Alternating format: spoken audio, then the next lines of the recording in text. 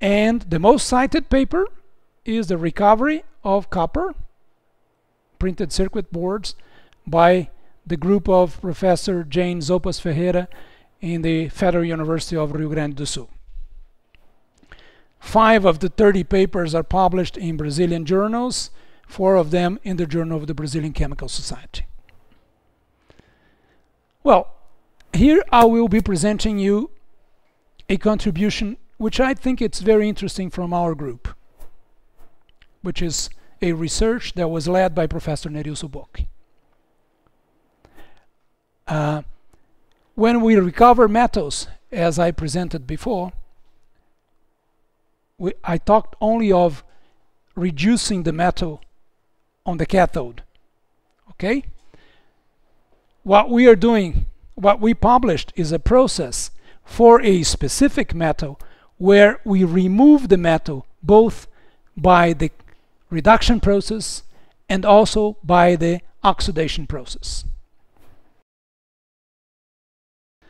So the specific metal where we can do this is lead and this is the an expansion of our reactor in the center both in the center which is the cathode and one here is the anode. So the cathode is where the reduction occurs. The anode is where the the oxidation occurs. Bo both of them all of them are made of stainless steel wool that we buy in the supermarket. Stainless steel wool used for cleaning in kitchens okay? And so we also have what we call turbulence promoters between uh, the different uh, uh, electrodes before when when you do the process when you're interested in only having the reduction process you have to separate the region of the cell where you have the, the oxidation process from the region of the cell where you have the reduction process. So you have a membrane like Nafion separating. So you have what we call the catholyte and the anolyte there is one compartment where we'll be reducing and one compartment where we don't do any recovery of the metal. When we propose this, one big advantage is that there, there is no necessity of separation because we will be removing the metal both by oxidation and reduction. And that's one advantage because once you put a barrier in the middle between the two, the two, the two electrodes, you have a potential drop, which means your your your cost is going to go up because the cost is also always the difference is always the product I mean between the current and the, the potential difference between the two electrodes. so as you can see here if we start with a solution that is has a, a concentration of lead of 50 milligrams per liter after 30 minutes. After 30 minutes you can see that we are already at a very low concentration. And after 90 minutes we reach 99.6% removal. So almost everything is removed. But what is very interesting is that of this removal more than 95% is now being removed as oxide instead of being removed as lead, as metal lead, as lead, metallic lead. And using this system, we we we have been investigating the rec the re recovery of lead from uh, solution uh, for many years so we first published a paper back in 2006, then another one with some improvements in 2008. And here we can compare the three works. So this previous works, we had the cathode and the anode separated by a membrane. Okay? As you can see, the potential of the cell is much higher. So the cell potential, there is a large gain in cell potential goes down. These two are inverted. So this is the conversion of lead as you as you saw after 30 minutes was 98%. So this numbers should be there and those numbers should be here. And we have a 35% energy efficiency. So before we had 17% energy efficiency. We increased it doing some changes, doing the galvanostatic work instead of the potentiostatic to 22. And with this new process, it went up to 35%, the energy efficiency. And as you can see, after 30 minutes, we can recover 98%, while before we recovered only 81%. So this, this is what I, I, I consider a very interesting contribution uh, from our laboratory. Okay, let's move on now to electro electrooxidation. Now, so we, now we are talking of having organics in the wastewater.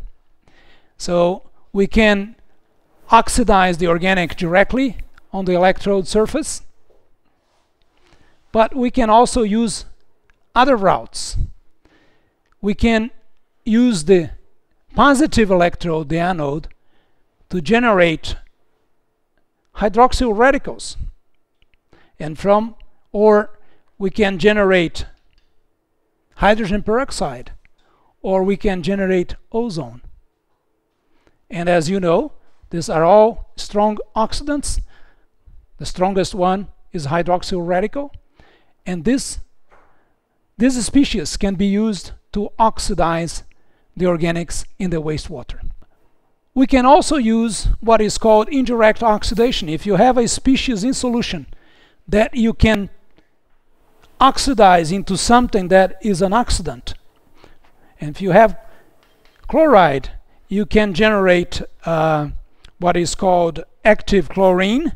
And depending on the pH of the solution, you will have, if the pH is lower than 3, you will have this species. If the pH is, is above 3 and below 3, uh, 7.5, you have uh, the acid. And if you the pH is above 7.5, you will have hypochlorite. So all this can actually happen at the same time in the cell if wished. There are problems if you use this because once you introduce active chlorine species you may generate organic organochlorides species which may not be uh, good. Okay, so the best route, since we this route can can can lead to organochlorides, this is the best route. The best route is to have the generation in the anode of this species. The problem is that for that you need to have specific electrode materials. Not every electrode material will uh, lead to this species. What happens? It all depends on when most of the time we, we are working in water. So, and in water we have a limit. If we apply a potential in the electrode, if we if the electrode becomes too positive, you start having the oxidation of water. So you, you start producing oxygen bubbles. If the electrode becomes too negative, you start reducing water and you start generation hydrogen. So there is what we call a potential window where you can do electrochemistry without reducing or oxidizing the solvent. Okay? And so it's very important for in, in, in the case where we want to generate this species here, it's very important whether the electrode has it's easy or difficult to generate oxygen on the electrode. And as you can see there, for these electrodes here, it's not very difficult to generate water. And as you go down in the column, you can see the, the oxidation potential goes up. So as you move from these are called dimensionally stable anodes. They are used in the chloro, the, the chlorine in generation industry. As you move from from the dimension from the oxide electrodes down to these other oxide electrodes, it becomes more difficult to generate oxygen. And the best material available currently is uh, boron doped diamond. If you dope diamond, it becomes conductive and it's an excellent electrode material. Because of this, because it's very difficult to generate oxygen on the diamond. And it's very interesting that as, as you move down the column, the interaction of hydroxyl radicals with the electrode surface becomes weaker. So there is chemisorption of the radical on the top here. There is physisorption down here. As it is weakly adsorbed, it is more available to oxidize species in solution. Okay? So in our laboratory, what we have been doing is, is trying to compare these electrodes and also with that electrode in different processes. There is one electrode material that in principle, so here is, is what I call, I showed, I talked to you before. This is the the window of opportunity to do electrochemistry, to oxidize something else or reduce something else besides water.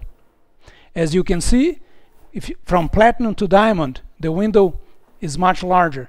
Carbon is also much larger, glassy carbon, for instance. And there is this Magnéli phase of titanium oxide, which has even a larger window towards the positive side. So in principle, this would be even better than boron doped diamond. The problem is is the availability of the material. It's very difficult to get it. It's very difficult to fabricate it. So as far as I know, there is only one there was one company in England that was using Ebonex but recently I was not able to find it any longer. So I don't know be if because of the crisis the company closed or not. But this company had a, a very interesting uh, uh, proposal. In England, you have to pay a fee. The larger the organic load in the wastewater, the more tax you have to pay.